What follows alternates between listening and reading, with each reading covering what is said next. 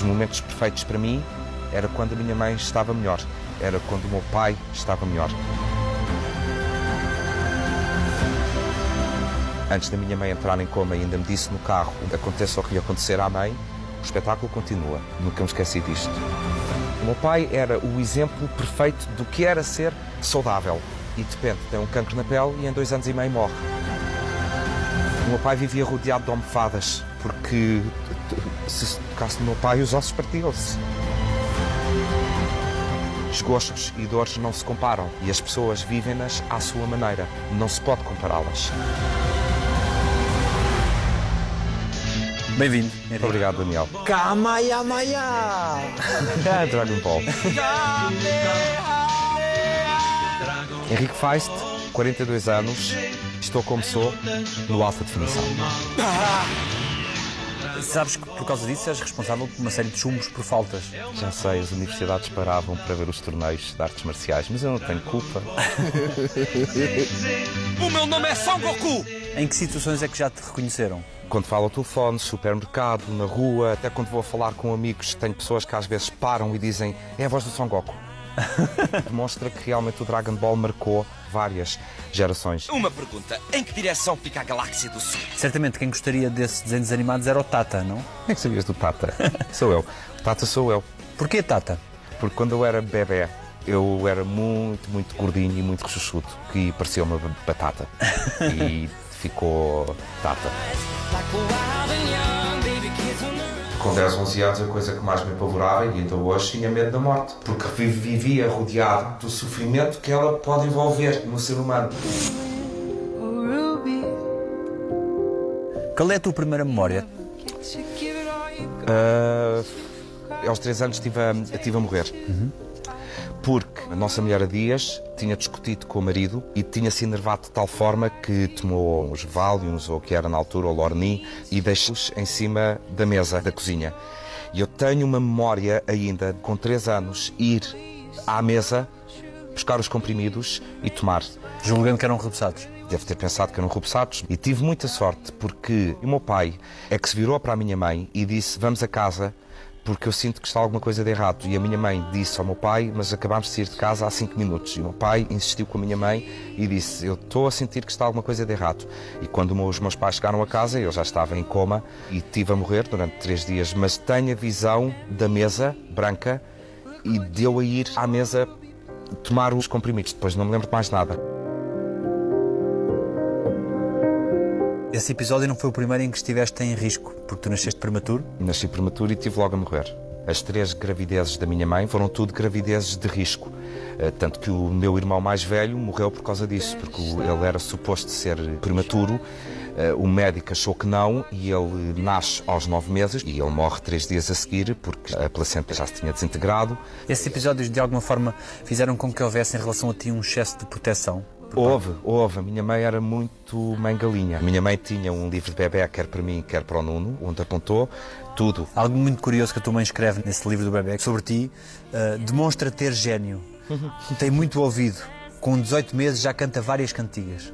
Tudo que a minha mãe me cantava ou tudo que eu ouvia, o Nuno e eu cantávamos de volta. E logo à primeira. Tínhamos um instinto musical apurado e a minha mãe fez tudo para que ele se aprimorasse. Não a assustou de todo o perceber que eu acho que estes miúdos vão para a vida artística. O gênio tinha, eu acho que ainda hoje tenho, mais refinado. Que se revela de que forma? A forma principal é eu dizer tudo o que me vem à cabeça. E às vezes as pessoas dizem ah, ele tem mau gênio. Não, não tenho. Eu tenho uma mania de não me conseguir calar. O que eu hoje faço é que meço muito bem antes de o dizer. E depois era muito teimoso. E, e hoje ad- admito que o sou muito, porque hoje até como enceno e como crio, sou muito mais teimoso. O teatro para mim não é uma democracia, porque há uma visão que tem que prevalecer, que no fundo acaba por ser a do encenador. E quando queres fincar isso, obviamente que passas pela parte de teimosia, porque por muito que tu ouças opiniões, a que tem que prevalecer acaba por ser a tua. Porque depois eh, eu não gosto de pensar se alguma coisa correr mal, tu vais atribuir a culpa a terceiros porque ouviste a opinião desse terceiro. E como eu acho que isso é uma coisa feia, salvaguardo-me disso. Amar as pessoas que realmente nos são mais próximas, porque, Daniel, de um dia para o outro, já não estão lá. Há uma série de episódios na tua vida, falaste num deles do pressentimento do teu pai de que algo não, não estava bem contigo, uhum. mas há uma série de episódios na tua vida e da tua família em que parece haver uma espécie de uma intervenção divina. Há um episódio do teu pai não apanhar um avião porque torceu um pé. E esse avião caiu? E esse avião caiu, aquele famoso acidente nos anos 70 de um avião que ia, creio eu, para a Escócia. E o meu pai, na altura, estava numa feira de brinquedos em Frankfurt. Supostamente iria apanhar esse avião, mas quando ele está no hotel a descer as escadas para fazer o check-out, caiu e magoou-se no pé e não pôde apanhar o avião. Eu prefiro nunca avaliar demais as coisas e deixar em aberto, não sei se pode ter sido uma intervenção divina, se pode ter sido coincidência, o facto de eu não ter morrido aos três anos, ou quando nasci, ou quando tive uma apendicite que também estive a morrer. Não sei. Penso sempre, olha, por alguma razão fiquei. Por alguma razão o meu pai ficou. Bem, o facto do teu avô ter sido avisado por um amigo da polícia alemã, não é? Era, era. Ele avisava sempre o meu avô dos planos que Hitler estaria a ter Uh, para os judeus. O meu bisavô tinha uma fábrica de metalúrgica e de cutelaria na Alemanha e eles são expropriados por Hitler porque depois a fábrica é utilizada para armamento de guerra. E o meu avô e o meu bisavô foram avisados do que iria acontecer para conseguirem fugir meu avô ainda conseguiu fugir para Portugal porque já tinha nacionalidade portuguesa, mas não conseguiu trazer os pais. Na altura que o pai dele é preso pela Gestapo, o meu avô estava na Suíça e ele liga para a minha avó porque soube pelo tal amigo dele. A minha avó pede uma audiência ao Ministro do Interior e como o meu avô na altura já era português, o Ministro do Interior e o Carmona, porque isto também envolveu o Carmona, o Presidente na altura, conseguiram que os meus bisavós entrassem em Portugal com um passaporte que era emitido na altura para os judeus, porque os judeus, na altura, na face do passaporte, não vinha o teu nome. Se tu fosses judeu, a tua face de passaporte masculina dizia David. O passaporte feminino dizia Sara. Não tinhas nome. Eras David ou Sara. E assim as pessoas sabiam que era judeu.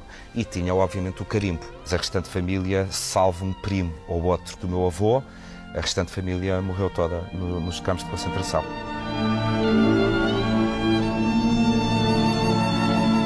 Tenho uma prima do meu avô que consegue fugir de uma forma que é, é, digna de filme. A prima do meu avô era judia, mas era loura de olhos azuis. Tinha todo o apuramento da raça ariana que o Hitler queria e há uma altura que a família dela é presa e eles estão na estação para serem deportados para os campos de concentração e na altura os judeus sabiam que a deportação significava morte.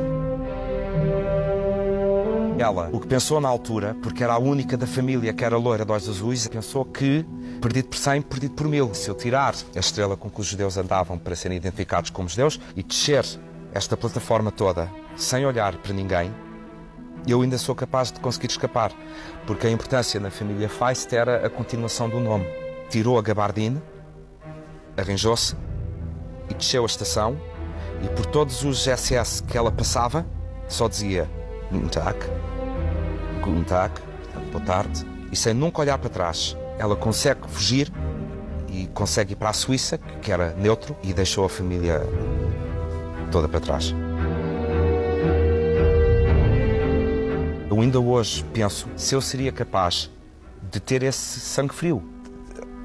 Opá, deve ser muito, muito complicado. Há um legado que fica dessa superação há, permanente. Há um legado de remédio tivemos que superar. O que nós fazemos é tentamos não comparar sofrimentos. Se a minha avó sofreu mais pelo Holocausto, se a minha outra avó sofreu mais pela perda das duas filhas, tento não comparar porque acho que desgostos e dores não se comparam. Uh, existem e as pessoas vivem-nas à sua maneira.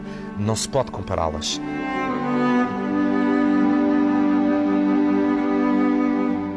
Até que ponto é que a tua vida te pareceu perfeita, se alguma vez pareceu, enquanto criança? nunca me pareceu muito perfeita. Pareceu-me perfeita no sentido de que, como vivíamos minimamente bem, viajávamos, de, de, de, porque o meu pai tinha essa possibilidade, mas eu nunca via isso como o, o perfeito, porque a dor e o sofrimento que passámos marcou-me mais do que os momentos perfeitos. Os momentos perfeitos para mim era quando a minha mãe estava melhor, era quando a minha avó estava melhor, era quando o meu pai estava melhor.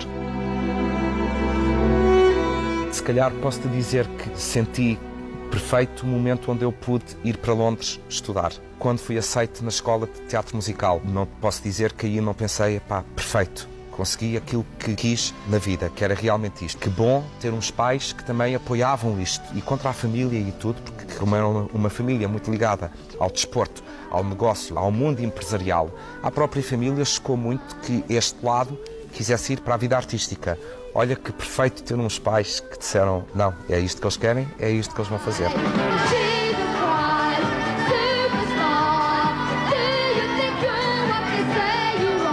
O meu pai vivia rodeado de almofadas, porque se tocasse no meu pai, os ossos partiam-se. A partir dos 9 anos, o, o drama do cancro assola três pessoas da tua família, né? Sim, a minha avó, a minha tia e a minha mãe. Tinhas tu 9 anos, 9, 10 e 11 anos. 9, 10, 11 anos, sim. Muito escondido o assunto, mas a dada altura não se podia esconder muito mais porque era, era notório aquilo que estava a passar. A minha tia teve, depois a minha avó chegou a ter na mesma altura que a minha tia e a minha mãe, quando é diagnosticada, também a minha tia estava há poucos meses de morrer, mas a minha tia depois também não sabia que a minha mãe também, também tinha. E, e foram momentos complicados, porque são momentos em que não se conversa diretamente com o miúdo de 11, 12 anos do que se está a passar, mas o miúdo de 11, 12 anos apanha as chamadas conversas de corredor, um, que são aquelas que nunca são bem explícitas e, e tu estás meio perdido porque vais ouvindo. O que é que recordas?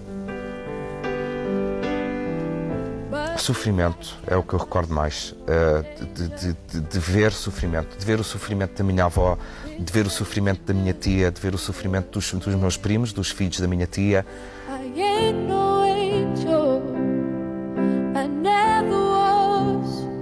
Percebias o que é que significava a finitude? Tinhas essa ideia de que alguma coisa podia terminar? Tinha.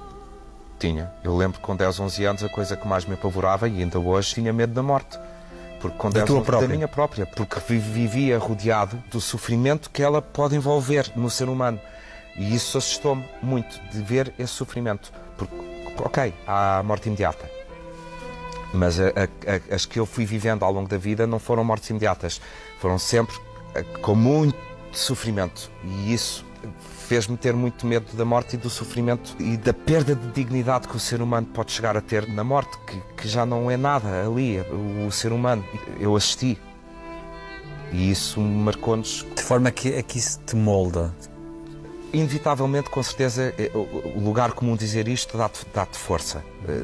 Dá-te força. Faz-te amar de outra maneira as pessoas que te estão mais próximas. Um, e isso foi a maior lição de vida que eu tirei disso. É amar as pessoas que realmente nos são mais próximas, porque, Daniel, de um dia para o outro já não estão lá. E depois já não podemos ir lá dizer: Olha, eu amo-te, porque nós hoje estamos cá e amanhã não estamos. E, e, e não temos tanto tempo quanto isso para dizer essas coisas. O meu pai, que era uma pessoa que nunca se pensou que, que, que, pudesse ter cancro, porque o meu pai era árbitro de rugby, fazia vela, eh, concorria no triatlo, era diretor da Adidas. O meu pai era o exemplo perfeito do que era ser saudável. E de repente tem um cancro na pele e em dois anos e meio morre. Quando tu tens isto, isto tudo na tua vida, tu percebes realmente não podemos perder tempo a não gostar das pessoas, a, a perder tempo com futilidades na, na vida. Discussões, eu, eu, hoje só discuto com coisas que eu acho que valham a pena, porque há coisas que eu acho que depois são tão fúteis que eu penso, não percam tempo com isso, porque há coisas tão mais importantes na vida. Que tipo de ajuda é que um miúdo de 11, 12 anos pode dar à, à mãe que está nessas condições? Tipo Nenhuma. De... Nenhuma. Nessa idade senti que não. Não podia ajudar tanto quanto queria, porque eu não percebia muito do que se estava a passar. Percebia que havia sofrimento, um, mas como nós também vivíamos muito protegidos e a minha mãe tentava nos proteger sempre sempre muito. O que eu fazia era estudava, tentava não chumbar, não desiludir a minha mãe. Porque a minha mãe sempre dizia também que no primeiro ano que vocês chumbarem, acabaram as cantorias. Portanto, o que o Nuno e eu fazíamos ao máximo era tentar não desiludir os nossos pais. E era para estudar, era para estudar, era para passar o ano, era para passar o ano, e era se calhar por aí aquilo que eu sentia se nós fizermos isto bem, a minha mãe fica bem connosco Porque em termos de doença propriamente dita, nós não confrontávamos-la com isso. E o meu próprio pai também não. Por isso é que o meu pai também nos punha sempre a viajar muito, que era para a minha mãe também esquecer. Obviamente que quando chegámos aos 18, 19 anos, as conversas já eram diferentes. Já éramos adultos. E aí já éramos nós, quando víamos que a minha mãe se enervava com qualquer situação e a minha mãe não se podia enervar, aí é que dizíamos, mãe, não te enerves, porque sabes que não te podes enervar. Aí já era diferente, aí já éramos nós que tentávamos tomar as rédeas e controlar a minha mãe. A minha mãe teve 12 anos doente com, com cancro e, e foi operada 27 vezes por causa do cancro também. E nós vivíamos nisto. Para nós isto era o nosso de cada dia. Habituámos-nos tanto a viver desta maneira que já já não era tão estranho quanto isso, porque, porque vivemos a nossa infância toda assim. Eram os espetáculos, era a escola e eram os hospitais. A minha mãe teve uma doença de fígado um, pouco tempo antes do, do cancro e estávamos em casa e a minha mãe do nada começou com, com muitos arrepios de frio, muita febre e ia ter convulsões no, no sofá. E eu tenho a imagem do meu pai a, a pôr-se em cima dela e, e, e, não conseguir, porque as convulsões eram de tal forma que a minha mãe levantava o meu pai. E, e eu lembro do meu pai pegar na minha mãe, pegar em nós, porque tínhamos 11, 12 anos e não tinha tempo de perguntar a alguém que me fique com os miúdos que eu tenho que levar a Manela ao hospital. E fomos para o hospital particular na altura. Lembro-me perfeitamente do meu pai trepar passeios com o carro para chegar a tempo ao, ao, hospital, mas quando chegámos ao hospital a minha mãe já estava em coma e teve, e, e teve cinco dias em coma. Antes da minha mãe entrar em coma ainda me disse no carro uma coisa que, que eu até hoje nunca, nunca me esqueci, que foi aconteça o que, o, o que acontecer à mãe, o espetáculo continua. Um, pai, eu nunca, uh, nunca me esqueci disto.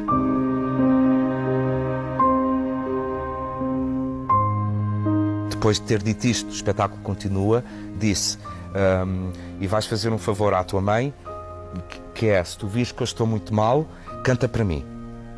Porque Mas eu... é uma carga e um peso para um miúdo de 12 anos, não?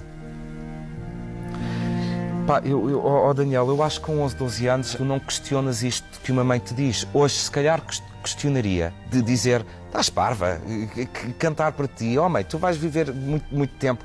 Tu, com 11, 12 anos, estes argumentos não te, não te estão à mão. A percepção não é a que nós temos hoje. Um, o que eu noto é que isso me marcou. Eu lembro que quando a minha mãe acordou do coma, eu, eu estava ao pé da minha mãe quando a minha mãe acordou do, do, do, do estado de coma em que estava, a primeira coisa que eu fiz foi cantar para ela. O que é que cantaste? Como sabia que ela gostava muito de me ouvir cantar o New York, New York, a primeira coisa que eu cantei quando vi que ela abriu os olhos foi o New York, New York. E ela também disse que, em relação à frase de aconteça o que aconteceu, o espetáculo tem que continuar, que um dia tu precisarias dessa frase, é? que um dia tu usarias essa frase. E precisei. E precisei durante muitos dias dessa frase. Porque precisei para a minha mãe, precisei para o meu pai, precisei para o meu primo, precisei para a minha avó, precisei para o meu avô. Porque, porque foram em, em situações onde eu estava em palco e, e o espetáculo teve de continuar. Uh, portanto, lá está a tal coisa do destino. Será que ela sabia? Não sei. Será que ela aprendera pela própria vida enquanto locutora que estas coisas podem acontecer? Não sei. O facto é que aconteceram e eu tive de lidar com elas da maneira que melhor sabia.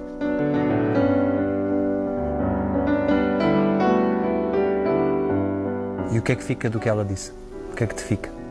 Respeitar as pessoas do meio artístico, porque uh, ela sempre nos alertara para a inveja, para o ciúme que existe no, no meio, no meio artístico. Um, esta coisa de, no fundo, ser, serem sete cães a um osso. Nunca, nunca perco o respeito pelas pessoas do meio artístico. Tua mãe acabou por falecer, tu estavas uh, fora, um, tiveste que vir, tiveste que ir, tiveste que assinar documentos de responsabilidade. Sim. Eu tinha que carimbar o passaporte cada vez que entrava em Portugal, quando estava a fazer a licenciatura em Londres, por causa da tropa. Eu nunca podia ficar mais que 90 dias em Portugal, daí ter que carimbar as minhas entradas e saídas do país. A minha prima ligou-me a dizer que a minha mãe estava no hospital e que era melhor o Nuno e eu voltarmos para Portugal nesse dia. Nunca, em seis anos, nos tinham ligado a dizer é melhor virem para Portugal. Isto foi numa uma sexta e eu na segunda ia para Moscovo com a escola para fazermos um musical em Moscovo. Tínhamos que ter um tipo visto eh, por causa de Moscovo. Nós apanhámos precisamente a transição à altura da perestroika, portanto aquilo era muito complicado a entrada em Moscovo. E a escola tinha o meu passaporte. E eu disse a ela, mas eu na segunda tenho que estar em Moscovo. E a minha prima disse, mas é melhor vir para Portugal. E eu disse, ui, estou a perceber vagamente o que é que se está aqui a passar, tenho que ir à escola. E disse, eu preciso do meu passaporte porque preciso de ir para Portugal. E a escola disse, sim, mas nós não te vamos dar o passaporte porque na segunda-feira tens que estar em Moscou. E eu disse, está bem, mas eu prometo que estou em Moscou na segunda. Hoje é sexta, deixa-me ir a Portugal. Eu estou em Moscou na segunda-feira. Não podes ir porque o espetáculo é mais importante. É o modelo anglo-saxónico. Eu disse, eu não vou comprometer o espetáculo, mas eu vou para Portugal. E o que a escola fez foi entregou-me um papel que eu tinha que assinar a dizer que eu, Henrique Feist, prometo que estou de volta a Londres no domingo às X horas para poder partir com o elenco na segunda-feira para Moscou. E eu tive que assinar esse documento porque senão a escola expulsava-me. Atenção, eu estava há quatro semanas de acabar a licenciatura. E, portanto, eu não podia pôr tudo isso em jogo, porque isso seria dos maiores desgostos para a minha mãe. A escola entrega-me o passaporte, eu venho para Portugal e, quando chego ao hospital, encontro o meu pai, que estava a vir da Alemanha, e a minha mãe estava em, em, em, em coma. E, e eu cheguei ao pé da minha mãe e, e disse: Olha, mãe, não sei se tu me estás a ouvir, mas eu já cá estou.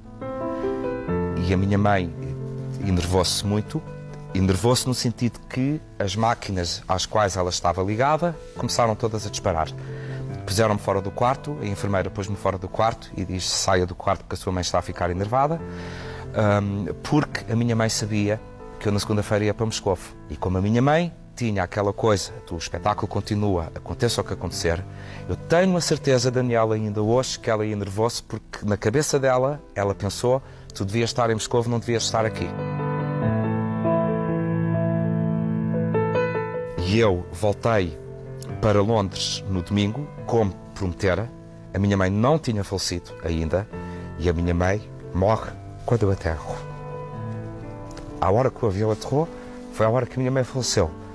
E cheguei a casa porque na altura não havia telemóveis, não havia nada. Portanto, eu só soube da morte da minha mãe quando chego a casa que o meu pai liga-me a dizer a mãe faleceu. E eu disse ao meu pai, que horas é que a mãe faleceu?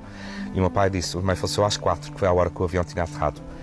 E eu liguei para a escola, porque tinha que ir à escola dizer já cá estou, para lhes entregar o passaporte. Eu liguei, disse já cheguei, preciso ir falar com vocês.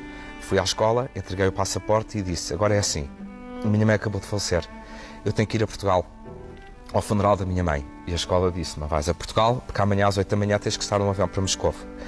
Eu disse, então vamos fazer assim. Vocês podem me expulsar, podem fazer o que quiserem, mas eu vou ao funeral da minha mãe e depois eu vou para Moscou logo de seguida. Eu comprometi-me a estar na segunda-feira em Moscou. Eu na segunda estou em Moscou, mas eu vou ao funeral da minha mãe. A escola disse: faz o que entenderes. Eu no domingo à noite apanhei o avião de volta para Lisboa. Na segunda fui ao funeral da minha mãe. Às quatro da tarde já estava no avião para Moscou. E na segunda-feira, efetivamente, à noite, estava em Moscou, completamente perdido e desorientado, porque não estava ninguém da escola à minha espera no aeroporto. Quando chego ao hotel, estavam os meus colegas na recepção. E os meus colegas, quando eu cheguei, a primeira coisa que me disseram foi: Estás aqui? Nós pensávamos que tu não vinhas. Até já tinham um substituto ensaiado para fazer o meu papel. E esse substituto foi o tal que me fez a pergunta: Estás aqui? Ah, porque eu já tinha aprendido o teu papel. Eu disse: Mas eu não preciso que tu faças o meu papel. Eu cheguei e eu faço o meu papel. Nice to hold when I'm tired. Tu tens mais uh, tempo de vida sem a tua mãe do que, do com, com. Do que com. Mas ela de alguma forma está sempre presente? Sempre. Quer ela, quer o meu pai. Sempre presentes. Não há não há dia que não passe que eu não pense neles. Nenhum. Às vezes nas boas coisas, às vezes nas más. Às vezes há imagens que, que me vêm à cabeça diariamente daquilo que eu, que eu assisti, que eles passaram, porque, porque marcam. marcam. Já disseste numa entrevista que os, as últimas semanas do teu pai foram piores do que os anos. 12 anos da minha mãe. Foram piores. São situações que não, não desejo a ninguém porque o meu pai acabou por ter o, o cancro de pele. Que eu tive que começar a vigiar os meus sinais também, já tirei 27 sinais. Sete dos sinais que eu tirei já tinham displasia melanocítica, portanto eu já tinha todos os indícios que também poderia eventualmente ter melanoma. E percebi, quando foi o meu pai, que para já é o cancro mais curável, mas ao mesmo tempo é o cancro, quando não apanhado a tempo, é o menos curável de todos, o cancro de pele. O meu pai não, não, não foi diagnosticado a tempo porque o meu pai viveu tanto a doença da minha mãe que ele tinha um sinal que lhe incomodava nas costas e nunca quis ir ver o sinal, porque era a minha mãe, era a minha mãe era a minha mãe. E quando a minha mãe faleceu, é que o meu pai decidiu ir ver o que, é que era o sinal. E era melanoma, já em estado avançado, a espalhar-se pelo sistema linfático, que irriga o nosso corpo todo. E os médicos começaram a vigiar os órgãos do meu pai para ver se nenhuma metástase se alojaria nos órgãos. E o cancro do meu pai aloja-se nos ossos e depois na cabeça. Quando ele é diagnosticado com o cancro, o meu pai dizia isto já é a Manela a chamar-me. Porque também há uma coisa que te digo que não conheci, nem conheço, a história de amor mais bonita que a dos meus pais. Não, não, não conheço mesmo. E, e o meu pai, quando foi diagnosticado, a primeira coisa que ele disse foi: Isto já é a Manela que já me está a chamar. E eu ainda disse ao meu pai: Olha, não penses nisso, porque se pensares nisso, vais de arrasto. E o meu pai insistia e dizia: Não, isto já é. A minha mãe, quando começou a piorar do cancro, foi porque o cancro alojou-se na sétima vértebra da minha mãe. E foi daí que, que a minha mãe começou a piorar muito. Quando o meu pai começou a piorar do cancro, foi num dia que eu estava com ele e ele debruçou-se para ir apanhar uma coisa e quando se volta partiu uma costela. E fomos para o hospital e quando fizemos a TAC, a ressonância magnética, o cancro do meu pai tinha-se alojado na sétima vértebra. E aí foi impossível qualquer argumento quando o meu pai dizia: Vês que isto é a Manela que está a chamar? Era impossível.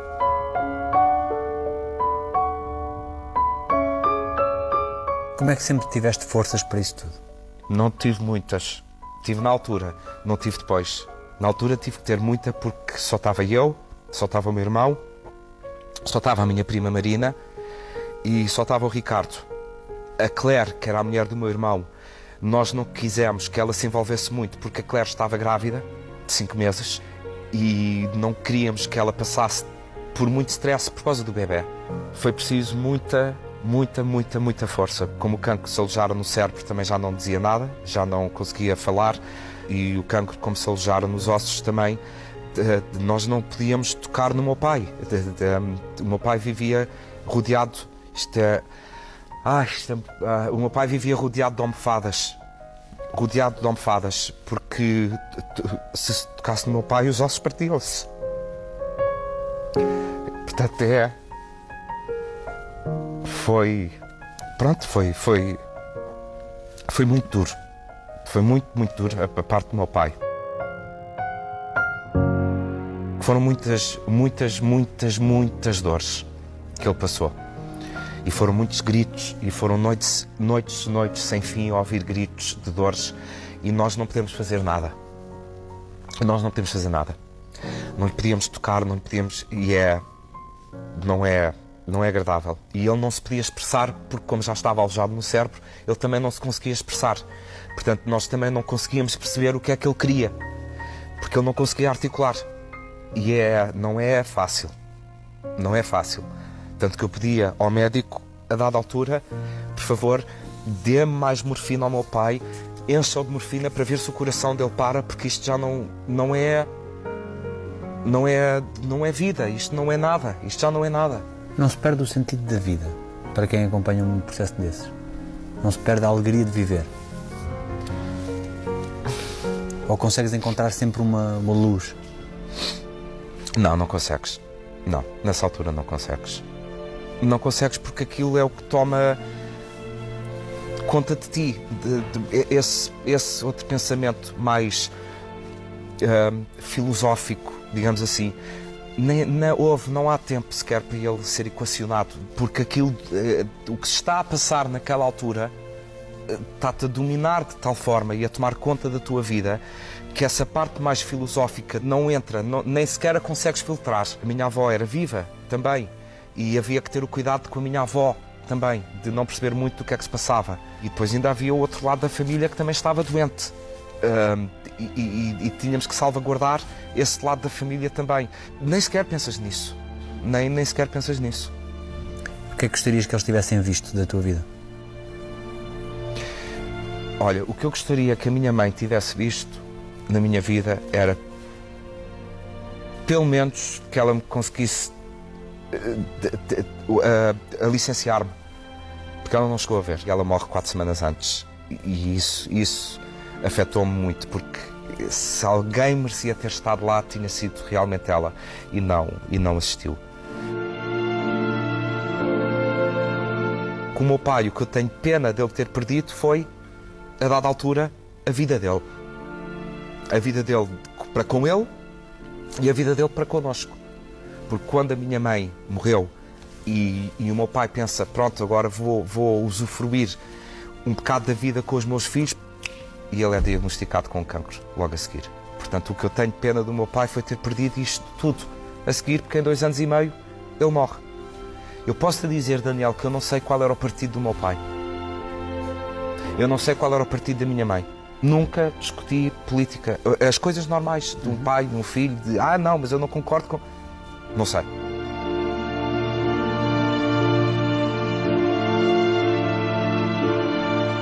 Eles tinham uma educação bastante liberal para convosco, isso é bastante aconchegante, presumo. Tinham. Sempre com os devidos travões. Que Eu, quando fui para a Inglaterra, para o colégio interno, para fazer o 12 em teatro, tinha acabado de fazer 16 anos. Em 87, um pai deixar um filho com 16 anos ir para a Inglaterra estudar para um colégio interno, não pode haver mais liberal do que isto. Obviamente, sempre a telefonarem todos os dias. O que é que fizeste hoje? Onde é que estás? Estás bem? E eles sabem que com 16 anos estás na idade da exploração, Daniel. Não não, não nos vamos iludir, não é? É, é, é a primeira bebedeira, é o primeiro namoro. Eles conheceram as tuas paixões da juventude. Ah, conheceram. Conheceram as minhas namoradas e tinham aquela coisa também de dizer não é, não é para ti.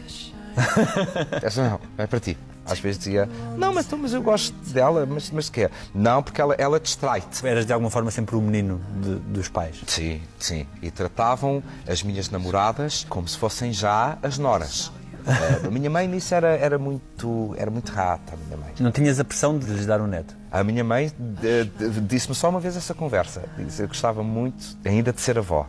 Eu disse, olha mãe, vou fazer os possíveis. Essa ideia da paternidade nunca te ocupou. Não, nunca. Eu adoro crianças. Adoro os meus sobrinhos. É como se fossem meus filhos. Já me falaram se eu al- alguma vez pensaria adotar também e tudo. E não. Eh, Por duas razões. Uma, como tu sabes, na vida artística nós não temos horários e muitas vezes é até muito tarde e envolvem muitos ensaios, muito tempo fora e acho que isso é muito injusto para uma criança. E a segunda razão que eu não quero, esta é um bocado para já, não quero uma criança passe aquilo que eu passei. Porque como já percebi que pode passar, porque não sei o que traz o meu dia da manhã, e como percebi pela minha vida dos 9 até aos 23 o que eu sofri com as coisas que eu vi, e sei que ninguém está livre disso, tenho pavor em ter uma criança que passe o mesmo que eu passei. E então prefiro não ter. Porque essa ideia paira sobre ti. Had before. Porquê é que decidiste dar o passo do casamento? Foi mais por. pode soar muito mal, enquanto casamento uma coisa sagrada, mas foi mais até por questões legais. Para saber que eu, se me acontecer alguma coisa e se eu morrer, ele está salvaguardado. E eu não tenho que me preocupar com, eh, com nada. Eh, foi mais por causa disso, porque eu caso-me depois de já estar numa relação há 16 anos. Portanto, o casamento não era para confirmar nada.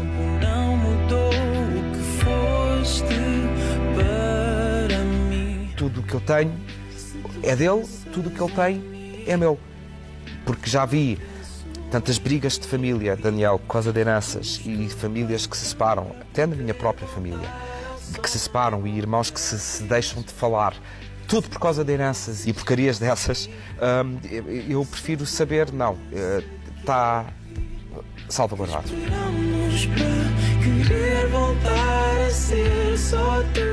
A sociedade ainda tende, eh, cada vez menos é certo, mas a, a, a querer saber a sexualidade de alguém para definir a opinião que tem sobre essa pessoa. Eh, isso ainda define eh, para algumas pessoas a personalidade de alguém. Eu sou-te sincero, Daniel, não ligo nada ao que as pessoas eh, podem pensar de- ou, ou deixar de pensar. Porquê? Porque não me exibo dessa forma às pessoas. Ou seja, o que as pessoas, o que o público conhece de, de mim, mais é aquilo que eu faço em palco e aquilo que é o Henrique Feist, artista, cantor. Não escondo o resto, mas não escondo quando me perguntam. Não faço é disso o primeiro plano da minha vida, porque depois já sei que me sujeito a tudo o resto. Mas o que me põe a comer na mesa é a profissão, não é o meu lado pessoal. E foi-te fácil proteger esse lado sempre. Foi muito fácil. Foi muito fácil porque, porque depende de nós e daquilo que nós nos quisermos exibir ou expor a. E não me coloque em situações que eu saiba que vou pôr em risco essa exposição. Também não me salvaguardo e não vivo escondido, porque não vivo. Quando tiver de ir com o Ricardo, vou. Sejam os Globos de Ouro da SIC, não faço, é disso, a primeira página da minha revista.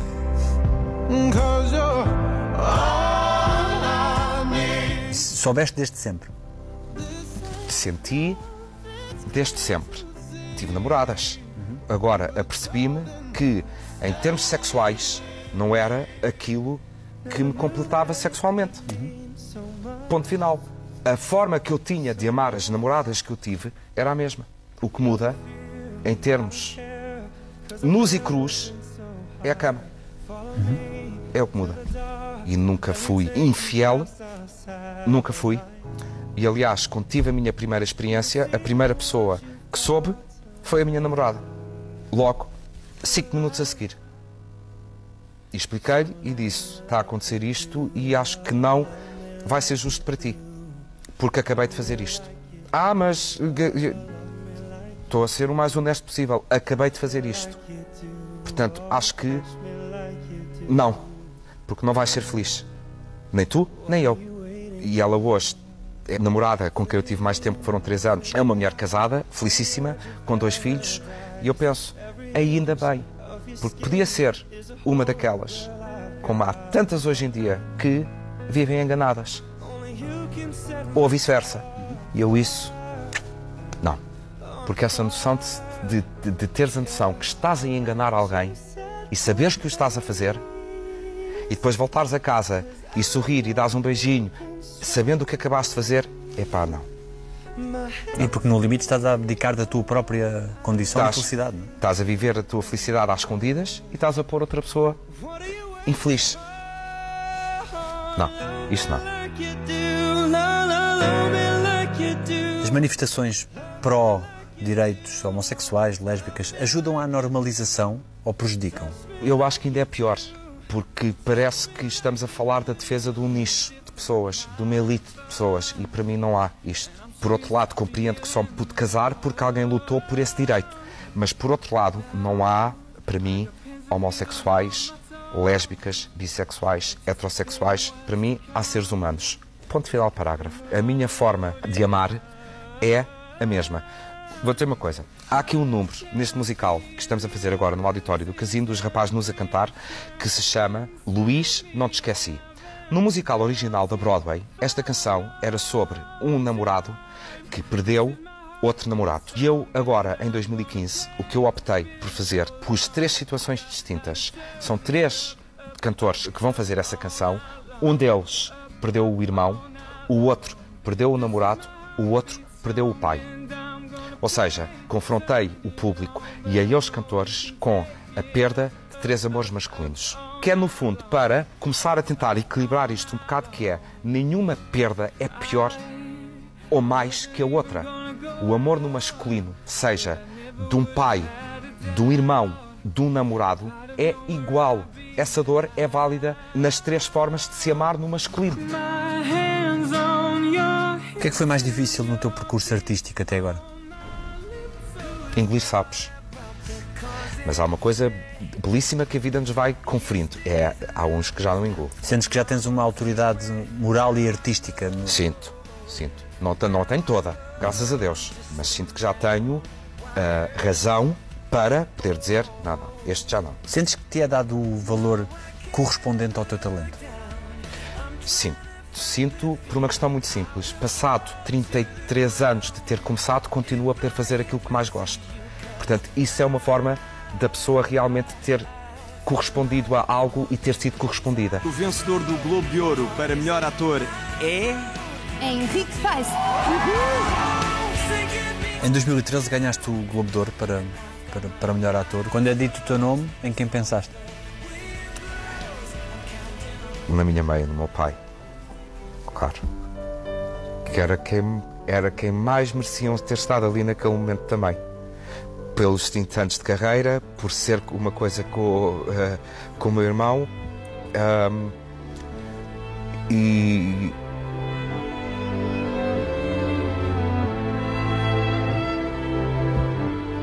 Sabes que eu não- há- há, eh, dizem muitas vezes, ai, mas mas a mãe e o pai viram, eh, mas eles sabem e viram que tu ganhaste. Digo-te uma coisa, isto nunca me serviu de consolo. Nenhum. Sabes porquê? Porque não sei se viram. Não sei se estão a ver. E tenho a, a- a noção que esses argumentos são argumentos que nos confortam. Mas eu nunca lidei bem com o conforto que eu não possa ver se é real. Porque tenho a noção que é só isso, é um conforto nosso de pensarmos de não, eles estão a ver e sei lá se eles estão a ver. E depois, se eu me deixar de levar por isso, de eles estarem a ver, começo a ficar com raiva. De pensar, estão a ver, mas então porquê é que não ficaram mais tempo? E porquê é que não dão um sinal que estão a ver? E como não quero viver assim, nem sequer uso, uso como argumento de mas eu sei que eles estão a ver, nem sequer uso. Tens fé? Às vezes, outras vezes não, não tenho. Porque vi à minha volta o que aconteceu com pessoas que a tinham. Tento aplicar a fé em coisas mais práticas da vida. Ne- tenho fé que isto vai correr bem. Tenho fé que o cenário esteja pronto a tempo. Tenho fé que isto, quando chegar à estreia, vai estar tudo bem. Que é que simboliza o teu, a tua tatuagem? Tens aí? O Dunga. Isto é o Dunga. Que era o sétimo anão da Branca de Neve, é o último. E não, não o tenho só aqui, também tenho aqui vários Dungas. Porque eu tenho desde criança esta pancada pelo Dunga. Porque o Dunga era o último da fila, ah, era pequeno, a roupa nunca lhe servia porque estava-lhe sempre grande. E eu, em miúdo, como era pequeno, e as roupas também estavam sempre grandes. E era o último da fila porque era pequenino. E, e aquele que, de quem os outros anões se riam. Eu identificava-me sempre com o Dunga. Dizia, isto sou eu, realmente isto sou eu. E então decidi tatuar o Dunga. E não é a única coisa que tenho do Dunga. Tenho canecas do Dunga, tenho chapéus do Dunga, tenho pijamas do Dunga, tenho portas-chaves do Dunga. Estás zangado com alguém? Não. Se calhar às vezes triste, decepcionado. O que é que é fazer-te mal? É mentirem e roubarem. É a pior coisa que me podem fazer. Alguém te deve mais do que um pedido de desculpas.